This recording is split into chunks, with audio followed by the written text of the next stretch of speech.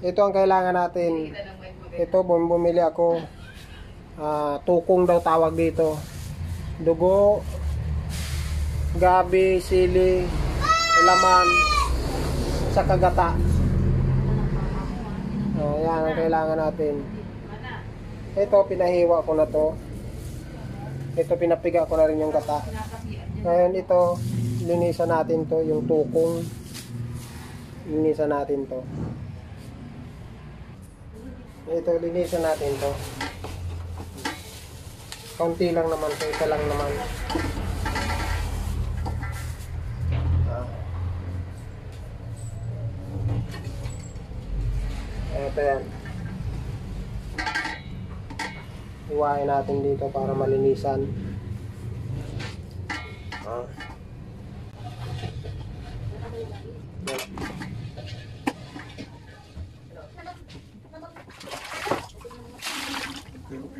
Ganyan. Kiskisin natin para ano, lami oh. Hmm. May paglinis yan. Tapos mamaya, pakulang pa natin to. Mahirap lang kasi, masarap po sa linugang kaya mahirap lang magkatulan at maglinis.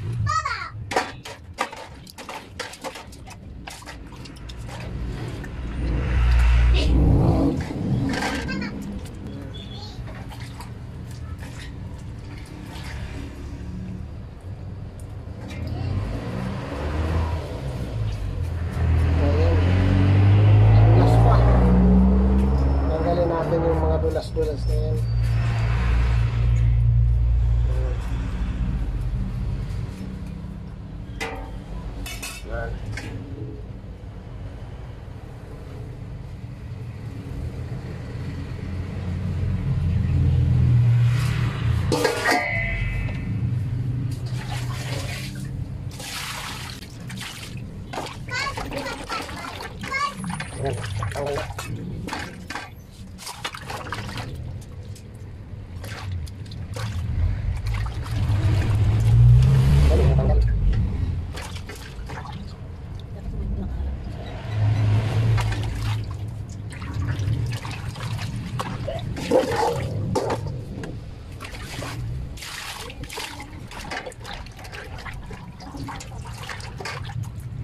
na, ayos na.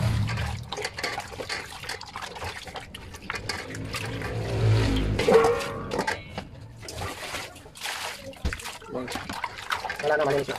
Papakulan natin to. Papakulan natin yan.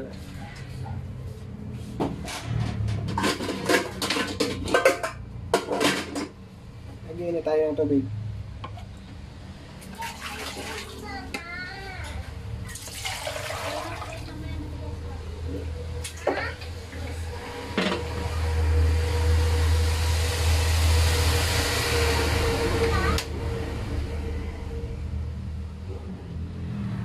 Ayun. Init tayo ng tubig.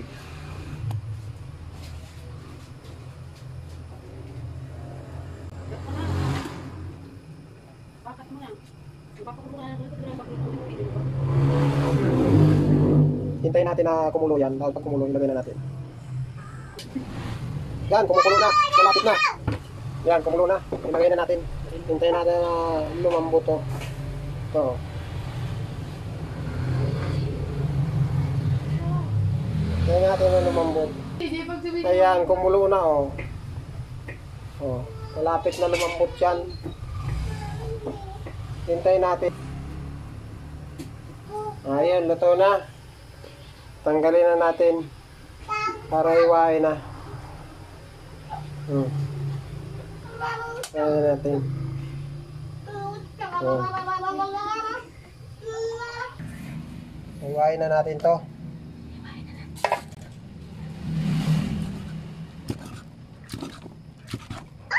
Ganyan ang paghiwa niyan.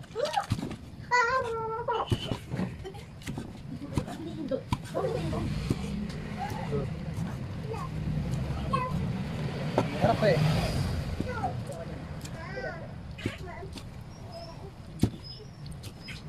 Nainit pa. Ganyan lang yan. oh. Ngayon lang ko sa bacon. Ang nilagay sa bacon. Dapat nga nito, isaw eh. Hindi ako nakakuha ng isaw. So, ano sa kalaman? Na. Tapos na. Sali na natin dito.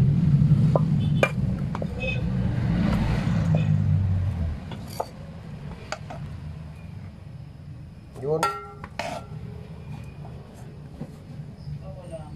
Yan. Ngayon, magigisa na tayo. Um, gisay na natin, lutuin na natin. Yun, mainit na pala. Yung mantika.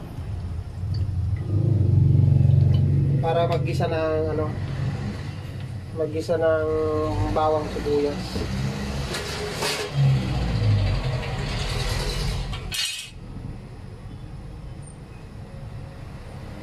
Ano ang gagawin? Sa pagsabayin ko na itong ano, bawang sibuyas.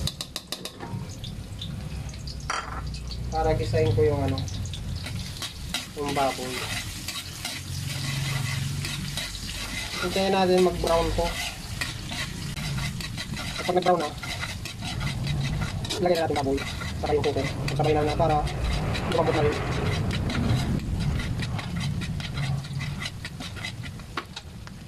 Oh, yun, brown na. Lalagyan na natin yung ano. Wow!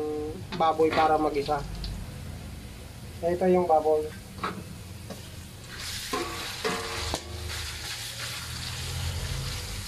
So, isayin natin.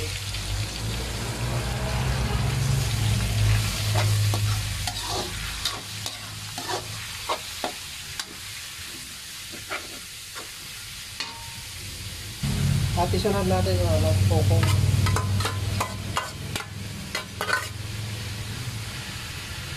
Yan. Okay.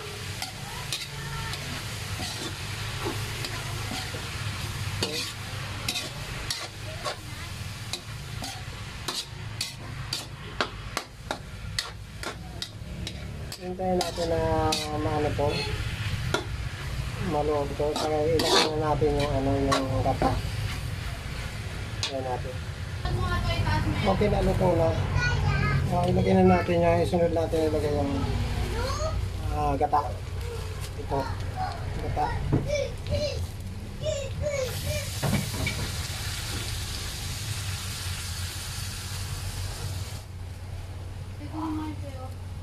Ilagay mo yun doon. Yun.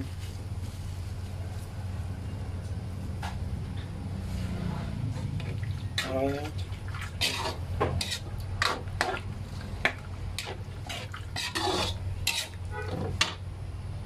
At ilagay na rin natin tong ano, ah, gabi. Sabay na natin.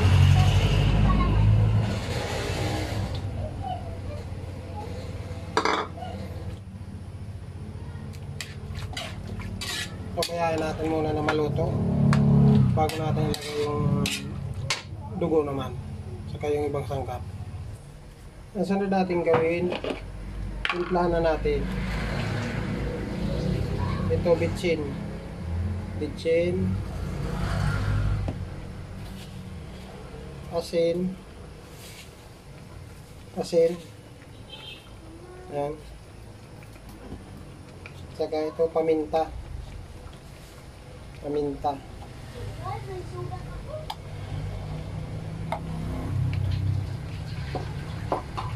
At saka laurel. Yun. Tayo natin ang lumambo. At saka ito, suka. Dato puti. Pampalasa. Yun.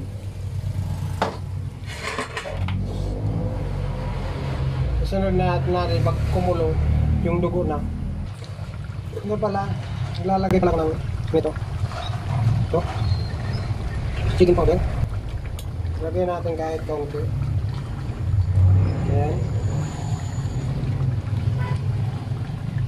Ngayon isalin na natin yung ano, yung dugo. Dandahan natin ilagay para di magbubuo. Tapos pag nailagay na yan lahat, kailangan di natin tigilan ang paghalo para hindi nagbubuo yung dinuga natin yung dugo para maganda yung texture pag naluto. Kaya ganyan. Hanggang sa maluto talaga yung lumapot. Ganyan ang paggawa ng ano, dinuguan sa Bicol. Hanggang sa ano, lumapot yan. Kasi pag pinabayaan mo na kumulo yan, makikita mo lumilitaw yung logo. Bubuo. Ayun, pabayaan natin na mga 10 minutes ulit bago yan maluto. Ayan. Malapit na siya kumulo. Counting halo na lang. Dagdagan natin ang suka. Hindi maasim.